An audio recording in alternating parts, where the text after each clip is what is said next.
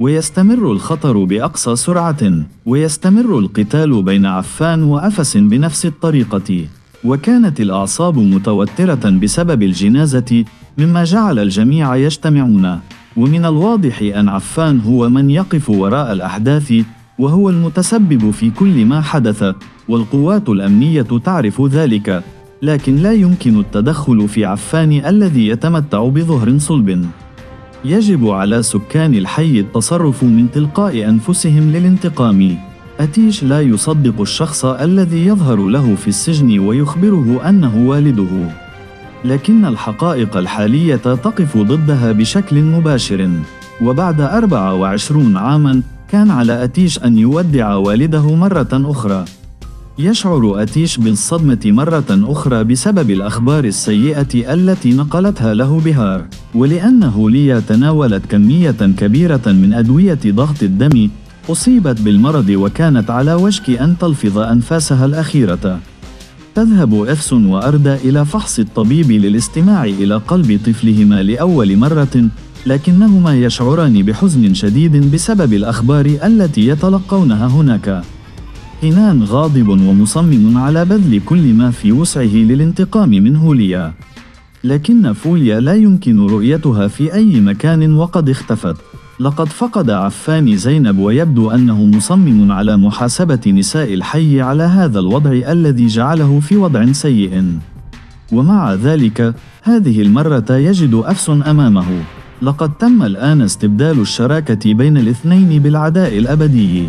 لم تتمكن إفسون من إدراك ما يمكن أن يحدث بعد هذا الحادث.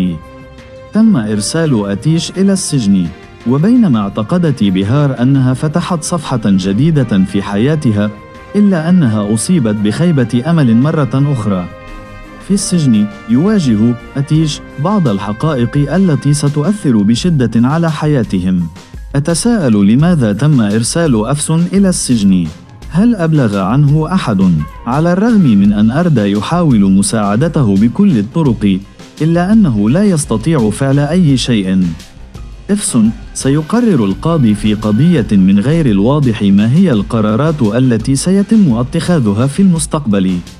يحاول كونان إيجاد طرق للعودة إلى المنزل. محمد أمير يطلب دعم أتيش من أجل منع هذا الوضع. لكن هذه الحادثة تطارده لأن أتيش حاول سابقا قتل كنان بينما كانت بهار تنتظر وصول أتيش إلى منزلهم المستقر حديثا.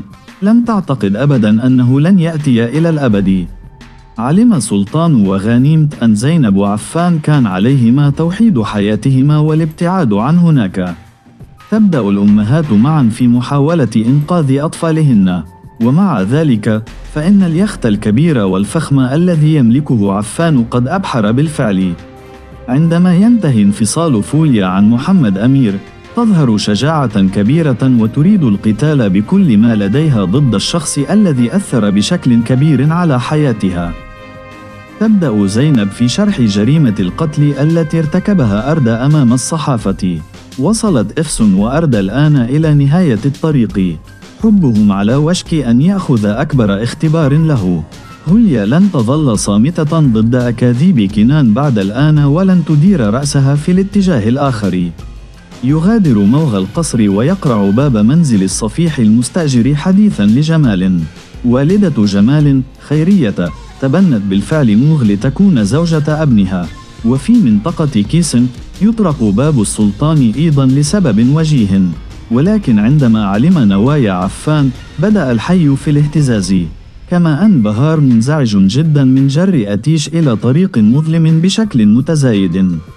ما يقطع هذا الوضع السيء برمته هو الأخبار الواردة من إفسون. عندما يتم الكشف عن حالة إفسون التي تم نقلها إلى المستشفى لن يعود شيء كما كان مرة أخرى. يبذل أردا جهدا كبيرا لإعادة إفسون. يقدم له بهار الدعم الأكبر بالنسبة له لكن أفكار أفس مختلفة وتظهر صفحة جديدة في خططه وفرصة لتحقيق أحلامه الكبيرة. أي شخص يمكن أن يحول هذا الوضع بعيدا؟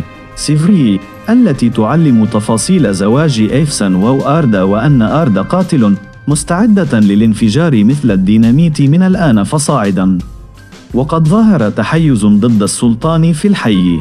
الأسرار المخفية لن تبقى سرية لفترة طويلة جدا من الآن فصاعدا. الصدمة التي ستحدث في حياة زينب عندما تعلم الحقيقة ستؤثر على الجميع. أخذ كيناندا منه طفل سمري. هل إخبار محمد أمير بما حدث هو فرصة لخلاص جيمري؟ أم أنه موقف سيتسبب في اختفاء توبراك نهائيا من حياته من الآن فصاعدا؟ لا يعتقد أتيش أن أيوب انتحر وما حدث في الرسالة التي كتبها خلف ظهره. يعتقد أن هناك شيئا ما في هذا وأن السبب في ذلك هو كنان. ولكن ليس من السهل الكشف عن هذا. على الرغم من أن كنان يحاول جذب انتباهه من الأحداث من خلال وضع العديد من الخطط إلا أنه لن يكون من الممكن تهدئة أتيس. النار تقود كنان نحو الموت. بعد رحيل جانم، زيند متأكدة من التخلي عن عرض الأزياء. وبينما تقول إفسون إنها تجني أموالا كاملة من المتجر، فهي لا تريد لزينب أن تتوقف عن عرض الأزياء. تنظم زينب خطة للانتقام من الأشخاص الذين وضعوا حياتها في ورطة. بينما يستمر العمل الإعلاني لمتجر إيفسن سيحدث شخص غير متوقع تغييرات مهمة في حياة إيفسن. أردى وبهار اللذان يعتقدان أنهما سيخسران إفسن إلى الأبد. يبذلان جهدا لإبعاده عن هذا الطريق الذي دخل فيه. لكن إفسن قررت ما يجب فعله. أصدر كنان التعليمات وأرسل موظفيه إلى فندق أتهان للقضاء على بهار وأتيس. بينما يقترب إيوبي الموظف الأكثر ثقة لدى كنان تدريجيا من الغرفة التي أمضي فيها شهر العسل لا يوجد سوى شخص واحد يمكنه تعطيل هذه اللعبة الشريرة. بالطبع إذا لم يفت الأوان لإنقاذ الثنائي بدأ كنان سلسلة من الأحداث التي يمكن أن تضع هوليا وموجي في موقف سيء بطرق لم يعتقد أنها ممكنة على الإطلاق. ولن تنتهي هذه الأحداث دون التضحية بشخص ما. في هذه الأثناء بينما كانت أفسن على وشك إغلاق أبوابها انتعشت أعمالها مرة أخرى. ونتيجة لتحسن هذه الأمور ستقترب إفسن وأردى من بعضهما البعض وستزداد المحادثة بينهما يوما بعد يوم. كما أصبحت زينب أكثر شهرة يوما بعد يوم. إلا أن أعصاب الحي متوترة بسبب الضغط المستمر من حوله.